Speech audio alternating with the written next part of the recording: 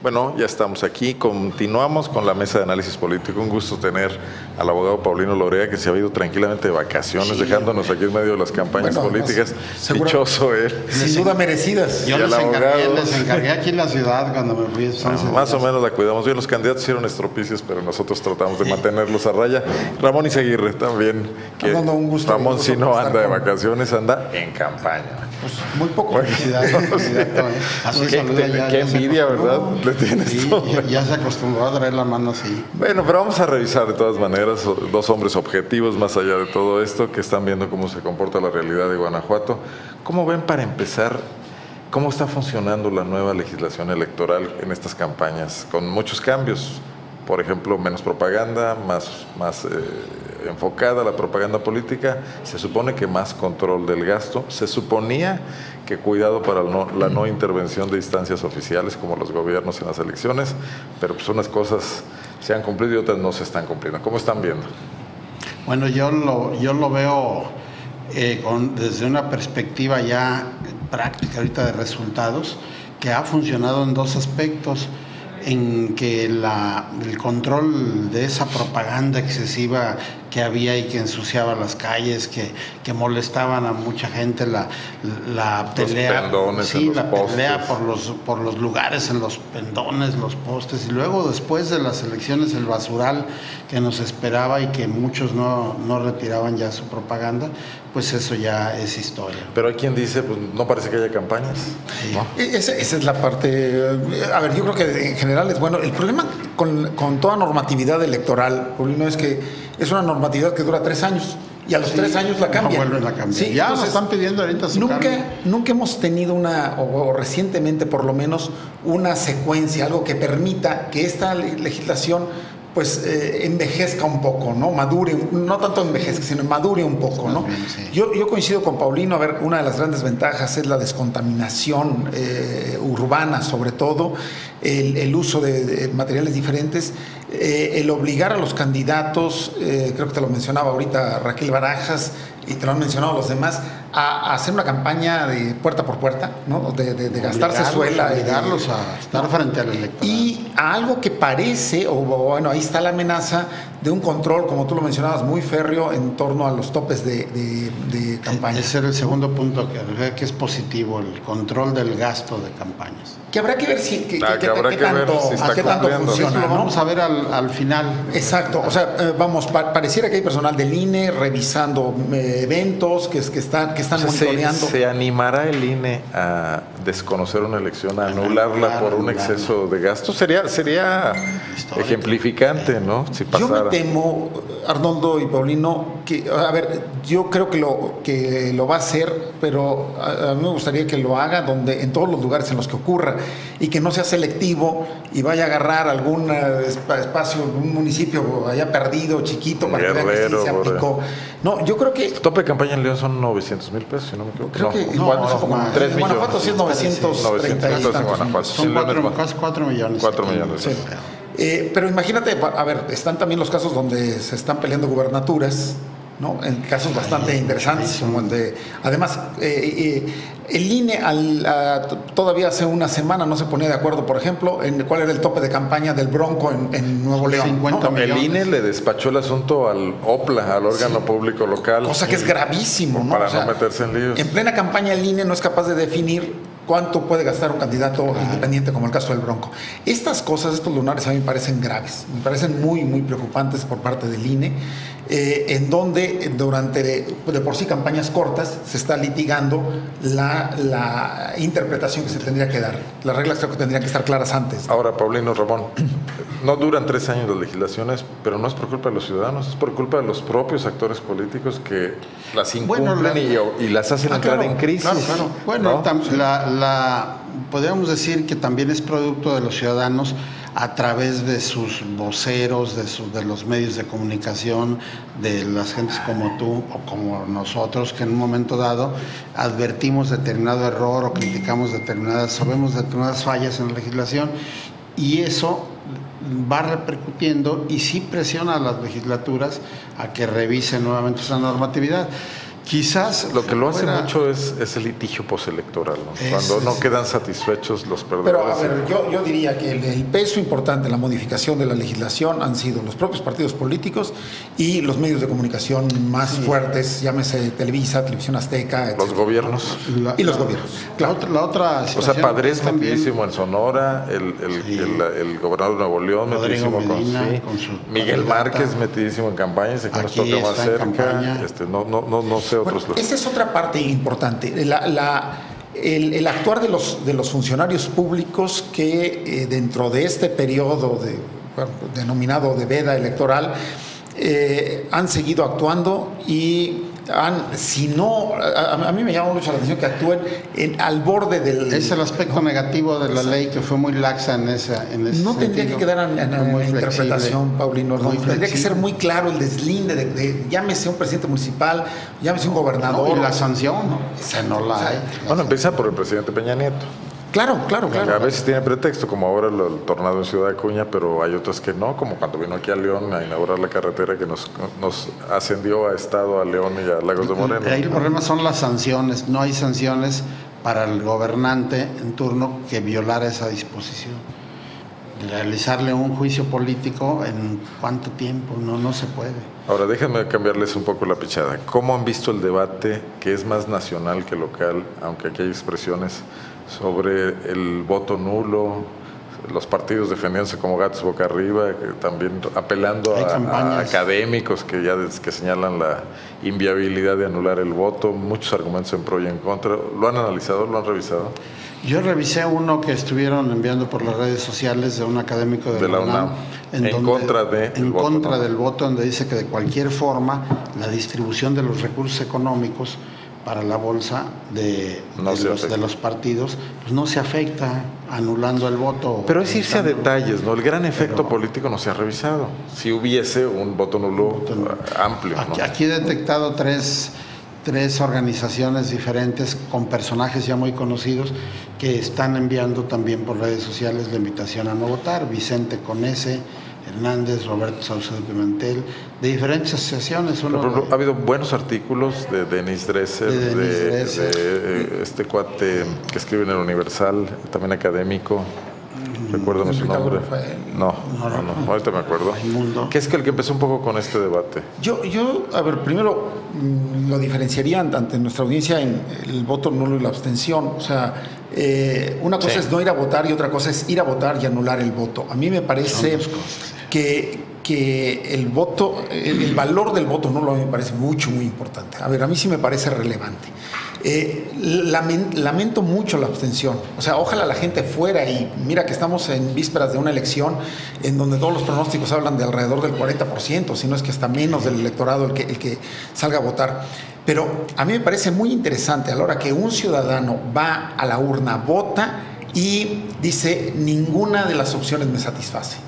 Sí, eso me parece un elemento de protesta. Porque más lo he estado pensando durante estos Claro. dos meses, los he escuchado a todos y realmente no Yo- confío en Y hay ninguno. otra postura que también está, está pues eh, ahí en, en- como propuesta de que se vote por los partidos chicos, por los que no tienen votos para minar a los tres grandes. ¿Quién nos hace, Y- y que- quién nos garantiza y que, esos partidos Y que con eso al Claro. menos ya les van a bajar los recursos a los tres partidos grandes y poco a poco se podría ver una... a mí me Después de ver a que no Jorge es- Serrano que Limón no es- gastando en que no tangas, es- en Provida, que no este, es bueno, en pues. Yo, Entonces- a ver, yo resumiría el, el voto nulo, Arnoldo, con aquella frase de alguna protesta española que a mí me llamó mucho la atención y alguna vez escribí sobre ello.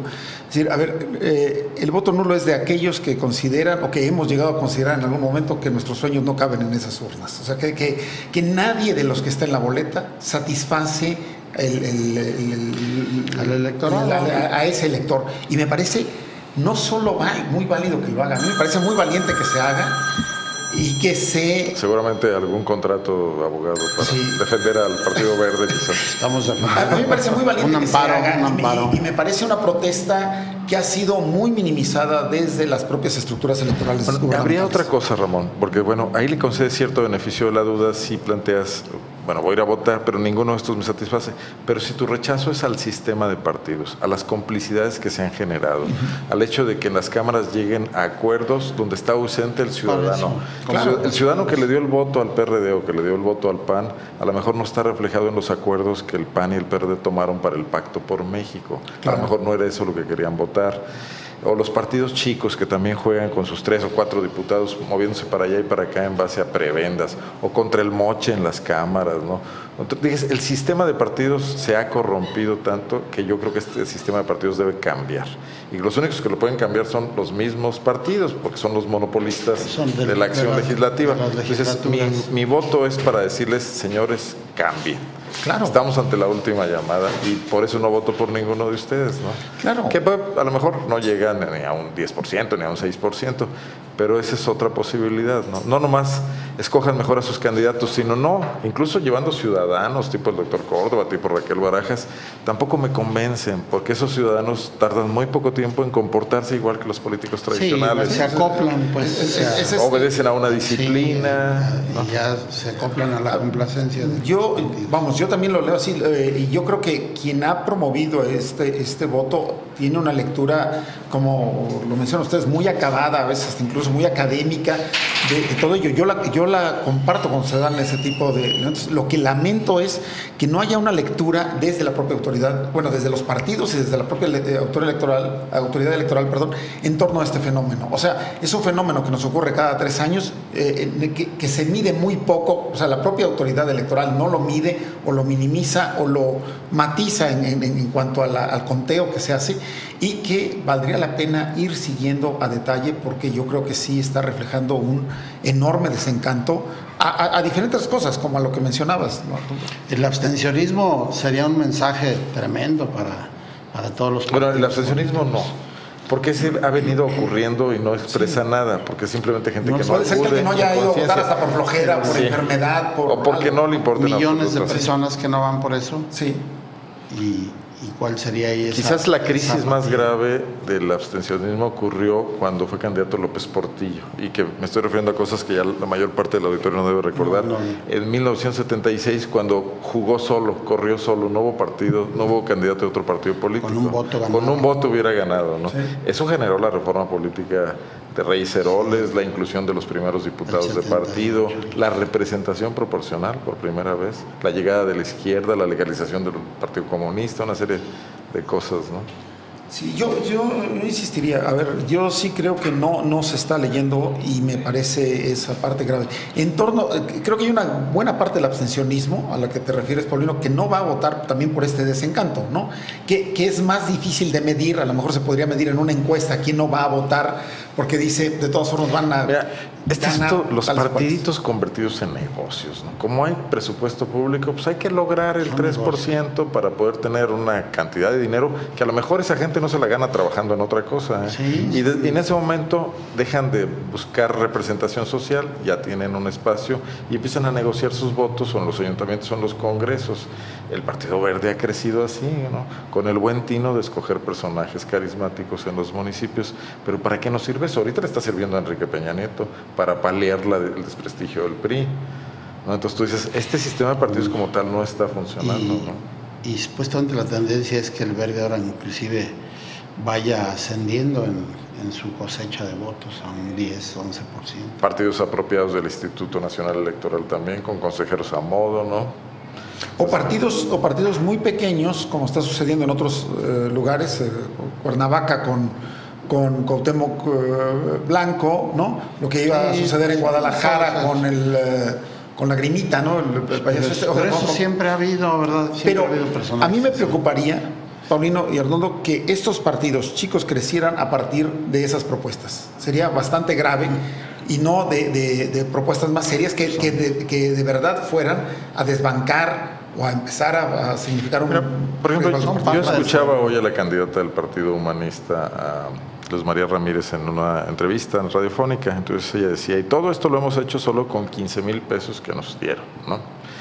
Escucho también a Ariel Rodríguez, que estuvo aquí hace rato, y dice, bueno, pues nos dieron muy poquito dinero, pero hicimos esto y lo otro. Bueno, yo no recuerdo al PAN histórico, aquel PAN que hacía rifas en la zona peatonal, preocupado por recibir dinero público. Y era un partido que recibía votos importantes, que presionaba gravemente al PRI como una fuerza opositora ética, pues a lo mejor no mucho en las cámaras, pero sí era un referente, preocupaba a los presidentes de la República Perista, lo que puedan decir los panistas.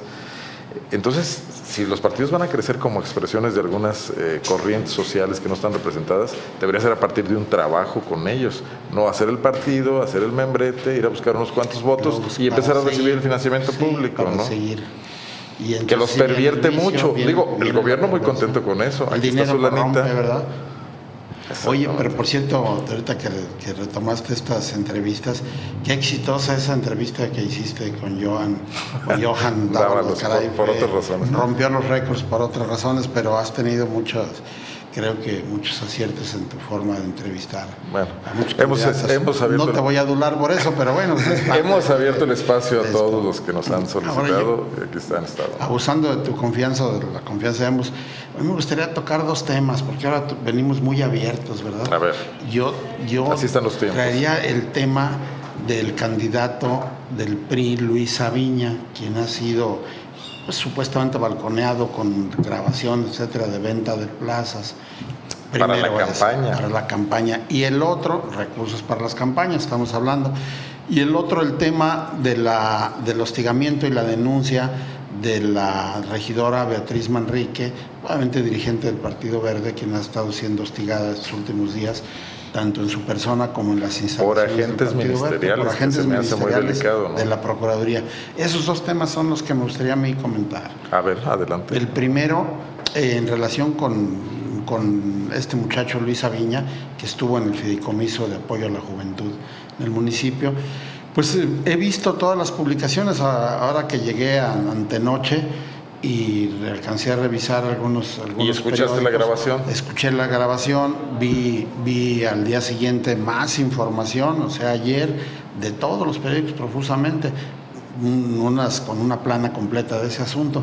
A mí me parece que ese asunto en estricto, haciendo, viéndolo de la perspectiva jurídica, pues no hay ningún delito que perseguir. Se hablaba que lo no investiguen, que lo vean, que no es delito Solo electoral, no es nada. Solamente que uno de esos que de esas personas que señalan que tuvieron el trabajo y le dieron dinero lo denunciara y él sí presentara una denuncia o querella por ese hecho. De ahí en más ¿Quién puede ir a denunciarlo? ¿Tú, yo, un partido? O sea, no, tiene consecuencias jurídicas, solo mediáticas. No hay consecuencia jurídica, entonces solo mediática. Y me atrevería a decir que ese tema tendría, tendría una repercusión más que nada moral y envolvente en relación con las demás acciones que se difundieron de actos de corrupción de otras áreas del municipio, de la administración municipal. Esa sería la única repercusión que habría, que ya de por sí es grave, ¿verdad? Pero el muchacho así en, en sí, en lo personal por ese hecho, yo creo que no debe tener ningún temor jurídico, algo solamente que alguien lo denunciara y se atreviera a eso, porque se hablaba ahí que lo investigaran y que se investigara para proceder penalmente como, contra como, Como dijo alguien, lo están acusando de corrupto, no de tarugo, ¿no? Pero bueno, me parece delicado de todas maneras lo que está pasando, digo, porque sí es su voz, sí lo grabó alguien. Eh. Por eso no pudo contestar ya nada a las, a las preguntas. Probablemente no haya delito, pero está en su momento de mayor fragilidad, es candidato en campaña y esto lo exhibe mucho y, exhibe a su partido. Y la segunda situación y, y, vinculo otra vez con muchas cosas que se piensan en la ciudad de la administración de Bárbara Botello. Creo que mediáticamente es un misil. Sí, es un misil tremendo porque además tengo entendido que hasta la semana pasada iba él arriba en las encuestas en ese distrito, iba haciendo muy buena campaña y todo, y con esto... Bueno, pues con el dinero de los lo pueden, Si lo pueden perjudicar, ¿verdad?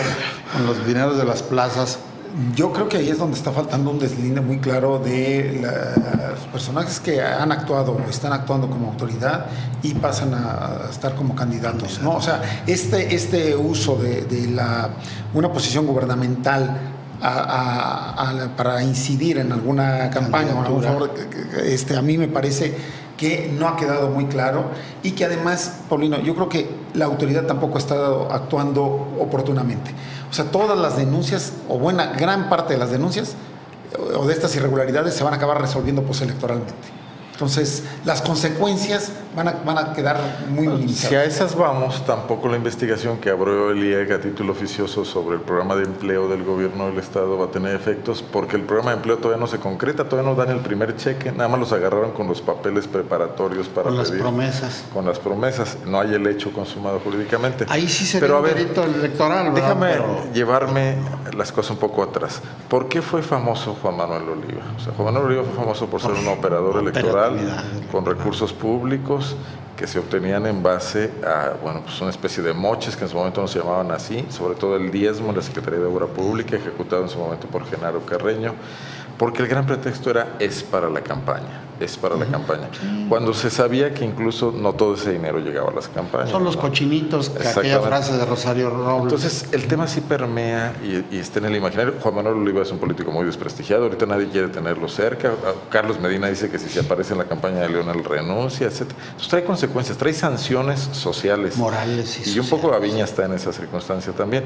Pero te agrego algo que te voy a pisar un callo. Dicen que Aviña no pedía dinero para su campaña, que era para la campaña de Martín Ortiz cuando estaba el momento de efervescencia en la presidencia Para ser municipal. la presidencia para ser candidato, porque era, era la campaña en la que se estaba pensando. Ellos no se pensaban como candidatos a diputados en ese momento. Ese era el argumento. Esa es la hipótesis detrás de todo esto. Pues puede, puede ser que sí, en ese, en ese entorno ya de ilicitud y de, y de, de manga ancha abierta, podría Bueno. ser. Y si así se hizo, ¿cuántos recursos que se obtuvieron de ello?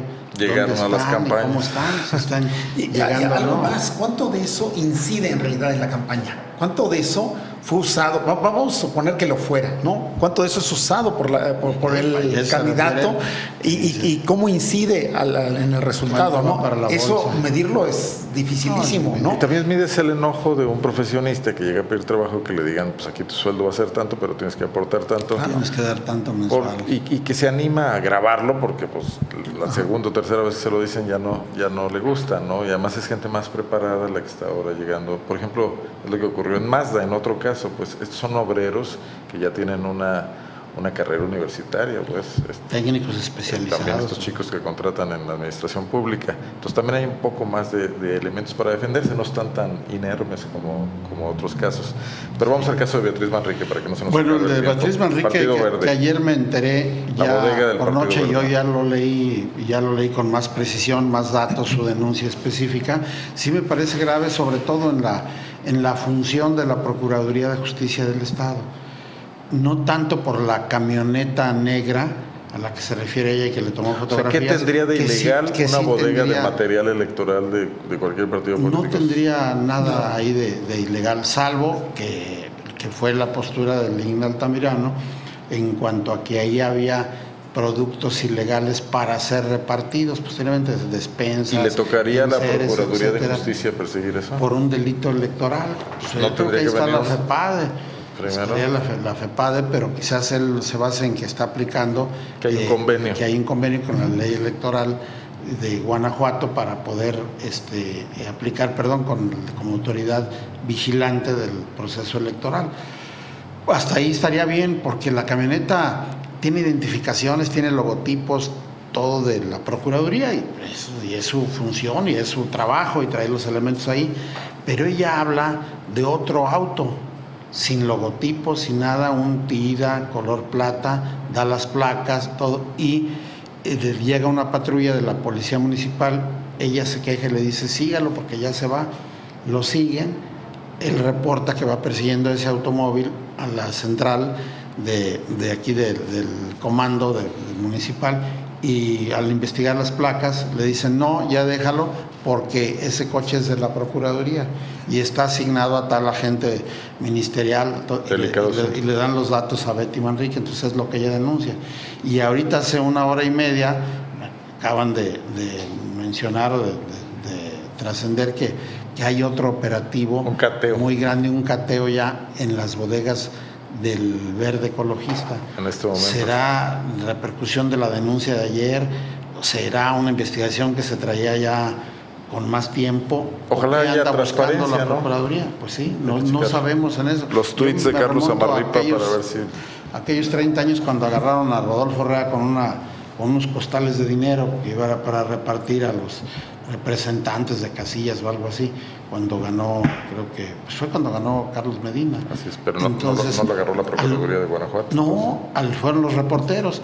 A lo mejor Lina Altamirano, que en aquel entonces era dirigente, se quedó en esa tesitura todavía en ese espacio y ha de, de, creer que en las bodegas estas hay mucho dinero. Me imagino que vamos, eso puede ser, Vamos a, a, investigar esto y tener más información. Si quieres comentar algo muy rápido. Muy, rápido, nada más. A, mí sí me parece grave. A ver, eso nos lo ahorraríamos con una fiscalía con, otras, con otras características.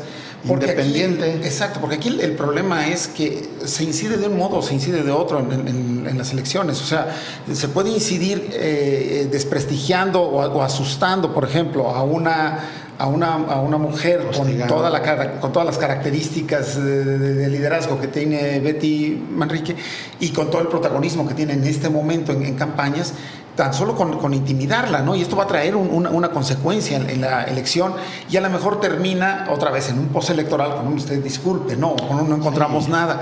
creo que esto, como decía Arnoldo, tiene que ser mucho, muy transparente. identificó y da los nombres de los policías, identifica al que le amenazó y al que le dijo, te vas a arrepentir. Déjenme despedir la transmisión en TV8 y en, pues el Canal 9 de Dolores Hidalgo y de San Miguel Allende, porque ellos a las 3 entran con su propio informativo. Nos vemos aquí mañana en punto de la una, los televidentes de Guanajuato, San Miguel Allende y Dolores Hidalgo. Yo se los agradezco mucho. En internet continuamos en, la revista de la una, todavía unos minutos más con esta mesa y también tenemos información posteriormente.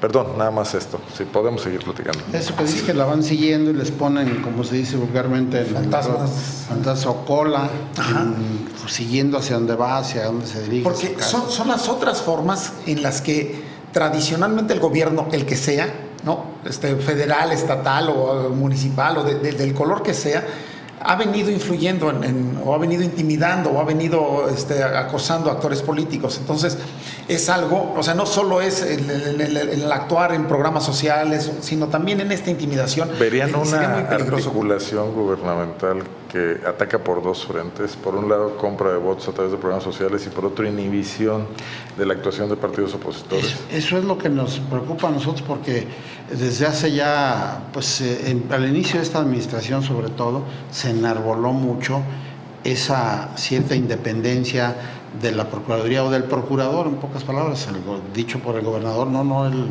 yo sí, constitucionalmente probablemente soy su jefe y depende de él, pero él actúa solo, él hace, él tiene su función, lo cual pues ya vemos que no es cierto, si está actuando así en favor del partido gobernante. sería notable pues, que, que encontrar una bodega del PAN también, ¿no? Entonces no, hay, no, hay, no hay tal equidad, pero sobre todo... ¿Y está tensando esto el ambiente no hay, de cara a la elección? Porque aquí hay una policía municipal de la administración prista de León que, que pudieran darse... Mucho se está tensando porque... ¿Represales por esta situación? Yo, yo creo que sí, además, eh, a ver, yo creo que, eh, por ejemplo, en el caso de León, mm, León va a una elección, eh, yo, yo pienso que peleada, competida, a lo mejor, en donde no dudaría que sea una elección que termine en tribunales y este, todas estas cosas que tensan la elección pues, se van a reflejar al final de cuentas en las impugnaciones que se viertan ante el Tribunal Electoral, ¿no? Pero fíjate, esto incide en otras dependencias federales. ¿Qué está haciendo entonces la Secretaría de Gobernación para guardar ese equilibrio? ¿El diálogo entre el secretario de Gobernación y el gobernador? ¿O cada quien está manejándose a su aire? Y la, y, la, falta de ese control, decir, oye, a la Procuraduría, ¿por qué está actuando así si es que lo está haciendo de esta manera? Ahora, eh, incide también en la, en la función de la Procuraduría General de la República también podría actuar así en contra de los candidatos opositores al Partido Nacional en el Poder, que es el PRI. Bueno, pues, ¿en qué, ¿cómo estamos en una lucha encarnizada. Y una balcanización de las instituciones. A nadie beneficia. ¿Y cómo se habla de que entonces se repita? Ahora, los, pactos de civilidad, Paulino y Ramón. Yo creo que ya quedaron debajo del escritorio. Nunca del tuvieron la mínima A mí me parecen absurdos, Arnoldo, que, que se firme un pacto diciendo a los candidatos que se van a portar bien y, que, y, lo peor, que van a cumplir la ley como si fuera opcional cumplirla. o sea, prometen cumplir la ley. pues, ¿cómo que pues, es, obligatorio que la cumplan ellos, los dirigentes, todos, ¿sí? Y bueno, si, si, dijeras, bueno, es que es una voluntad, una expresión todavía mayor de voluntad, Bueno, y, efectivamente tuvieron reflejo hacia el comportamiento de los candidatos. No lo es. O sea, yo no sé a quién toman, a quién pretenden tomar el pelo. Digo, entre ellos no se lo creen. Y me parece que hacia el electorado mucho menos. O sea, yo creo que simple y sencillamente con que tuviéramos eh, el, cumplimiento de la ley y un buen árbitro, un árbitro que sepa en términos futbolísticos sacar las tarjetas, ¿no? A eh, tiempo y oportunamente. A tiempo y oportunamente. yo creo aquí los que están desaparecidos son las autoridades electorales, el INE y el IEG, ¿no? No hace nada y sin embargo en la en la suspensión de esta propaganda en los paraderos de, del CIT del doctor Córdoba trascendió en la propia junta donde estuvo este Mauricio Guzmán dijo que había recibido una llamada del magistrado Arzola para saber qué pasaba con esa queja. Al magistrado, ¿qué le importa? ¿Qué tiene que ver? Si tiene que andarse metiendo en el IEG para que hagan, que es el jefe del IEG, él, o qué incide. Ahí se ve la mano ya directamente del supuesto árbitro en favor de determinado partido. Y algo a tomar en cuenta, sí. en esta, en, eh, ¿Magistrado o consejero? No, él es magistrado, del, tribunal electoral.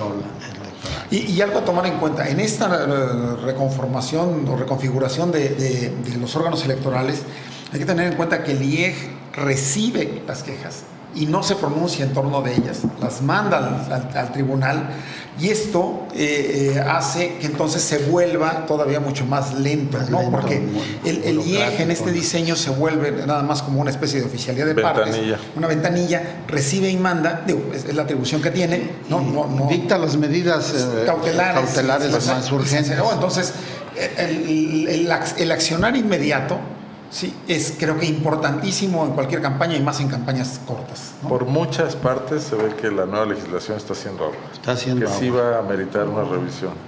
Digo, es un Frankenstein ya, espero que no lo dejen peor porque...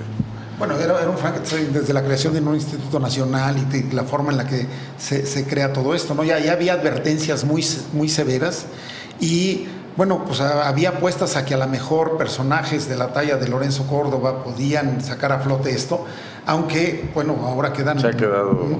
Y, quedan terriblemente cuestionados, ¿no? a mí me parece atroz la grabación está más allá de la filtración y del delito de la filtración y todo esto, a, final de cuentas es una expresión enormemente peyorativa la que lanza Lorenzo Córdoba en torno a... La que denota su verdadera personalidad y su sentir, ¿verdad? Sí, escribió un muy buen artículo ahí sobre eso Jorge Castañeda. Jorge Castañeda. Lo políticamente correcto, la cultura en otros países y la cultura en México. Sí, porque además, eh, Arnoldo y Paulino, a ver, es la reseña de una de un evento público, de una, de una conversación que él fue el protagonista. Sí, de una audiencia que él tiene como. Sí, supimos lo que él estaba pensando cuando atendía a estas gentes. Exactamente, ¿no? O sea, no es, no es un tema íntimo de él, no es un tema familiar. Con estos candidatos que escuchan a gente que, bueno, pues con graves problemas de marginación, de pobreza, y por dentro dicen que, me está quitando el tiempo este mugroso. Y eso se llegará a saber, ¿no? Yo, yo creo que tiene dos, dos eh, vertientes esto, ¿no? La, la vertiente legal de la, de la filtración y del estar pinchando teléfonos y todo esto, que está, mal y se puede reprobar por donde sea, pero la otra vertiente, que es un personaje de la talla de presidente consejero del INE, es gravísimo que tenga Lamentable que piense así. ¿no? Lamentable que piense así. Que nos lleva otra vez al tema del doble discurso en la política mexicana, donde una cosa es lo que se dice ante los medios, lo que se dice formal y públicamente, y otra lo que se los, piensa. Los indígenas así hablan. Yo vengo de vacaciones y, y el 90% de los empleados de los, de los servicios que se dan en los hoteles de Playa del Carmen. Ahí son gente de Chiapas, de, etnias, de todo. Y te hablan así. Pero incluso con si hablara con verbos diferentes. Impostadamente, de todas maneras. No hablan como nosotros. por ejemplo, hablando del caso de, la zona maya.